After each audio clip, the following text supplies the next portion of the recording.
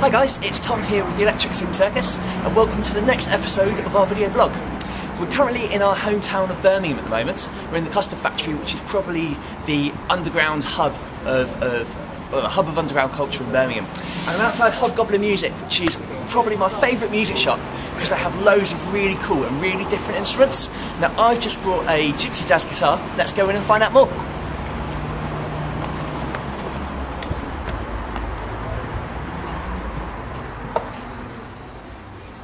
Hello there Mark. Hello Tom, Hello. So yeah, I've just bought a gypsy jazz guitar. I got the uh, um, the Gitane Slimline. Um, but I suppose I'm fairly new to um, to playing gypsy swing. Okay. And I didn't know the difference between a gypsy jazz guitar, a Selmer, Okay. and an acoustic or a classical. Do you want to talk us through that? Yeah, I'll, uh, I'll try some things. I mean, you can play anything on any guitar, Tom, as you well know, but if you want the gypsy kind of sound, um, the old Maccaferri copies now, the Gitanes are great. Things for the oval holes, the D holes, um, obviously went for the slim one with the Fishman Yeah. pickup and great for live use and things.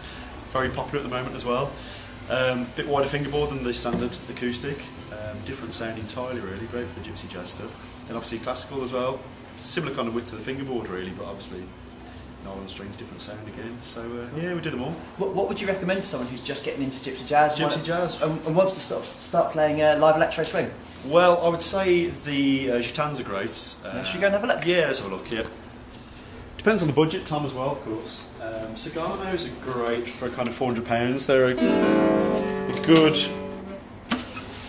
a good kind of copy as well. Um, not quite to the spec of the Gitanes, but for someone that wants to get into it, he used to put pickups and stuff on the bridges. Um, all sorts of pickups available. Depends either oval hole or D hole. Depends if you want a nice kind of rhythmical projection or lead work or just very individual thing, Tom. But um, we keep them all anyway.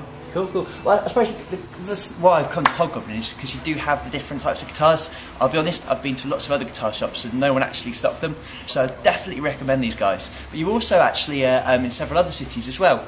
Um, you're based in Bristol. We are, yeah, nine of us around the country now Bristol, London, uh, Crawley, Canterbury, Weybridge and Cornwall, Manchester. So Leeds, we're all over the place, Tom. Cool. And what other instruments might you have that could interest someone making electro swing? Ooh, accordions as well. Accordions a big thing. We stock a lot of accordions, um, different size accordions. Piano accordions, we mainly in gypsy jazz.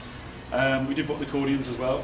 Um, we do some of the five rows, the continental style. So again, we do all sizes, all prices, new and second hand. So we keep a lot in the Birmingham shop.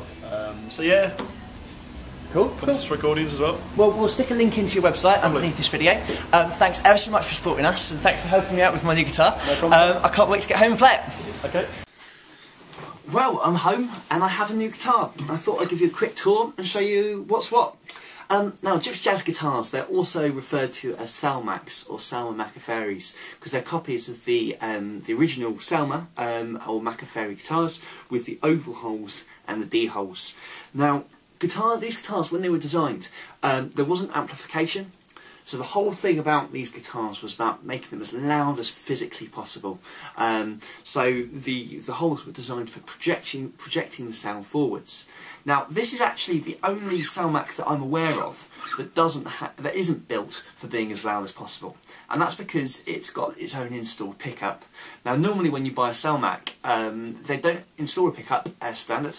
Um, you get that done afterwards if you want to, because adding anything to the body of the guitar is going to affect the acoustic properties. Um, but this one, it's all it's designed for people like me who want to play it on a, on a loud stage next to a drum kit, um, and also not have problems with feedback.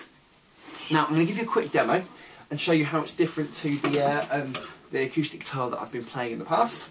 Um, so I suppose first of all we're going to start with some some lead work. Um, obviously I'm playing with a uh, um, quite a substantial pickup. Um, I'll do some stuff from uh, from the electric go.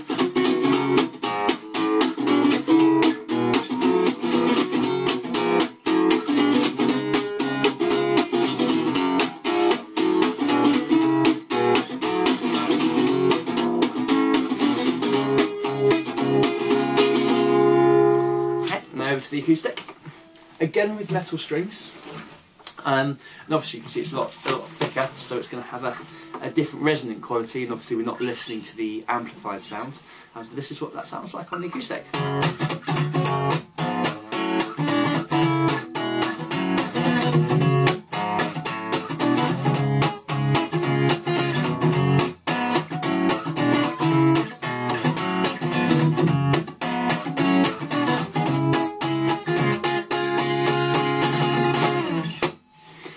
Yeah. So um, that's uh, I suppose the a quick demo of the differences between the um, the Selmac and the acoustic.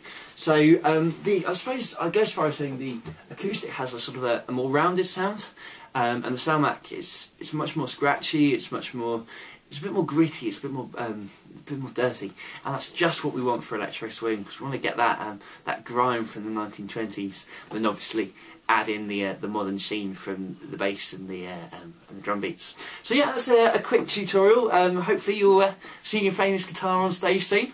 Um, first gig is uh, with it is in a, um, next next week, next Saturday, and we're playing at Mr Wolf's in Bristol. So fingers crossed, see you there. Thanks for watching. See you guys soon. Bye bye.